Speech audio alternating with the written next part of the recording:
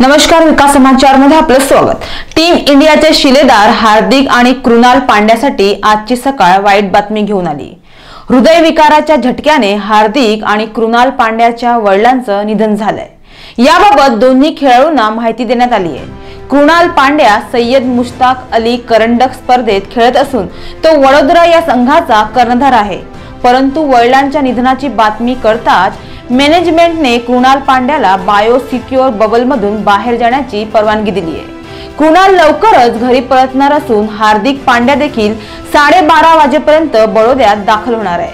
कृणाल पांड्या माघारी परतल्यानंतर केदार जाधव उर्वरित दोन सामन्यांमध्ये वडोदरा संघाचं नेतृत्व करणार आहे. हार्दिक आणि कृणालच्या वडिलांचं निधन झाल्यामुळे बडोदा क्रिकेटनं याबाबत दुःख व्यक्त केलंय.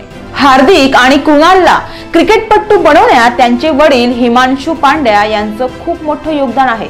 त्यांची आर्थिक परिस्थिती फार बरी नव्हती.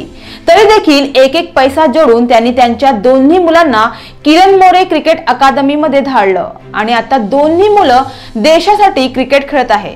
मात्र आज त्यांच्या निधनाने पांड्या कुटुंबावर दुःखाचा डोंगर कोसळलाय. पुढच्या बातम्यांसाठी तुम्ही पाहत राहा विकास समाचार ध्यास ग्रामीण विकासाचा. नमस्कार.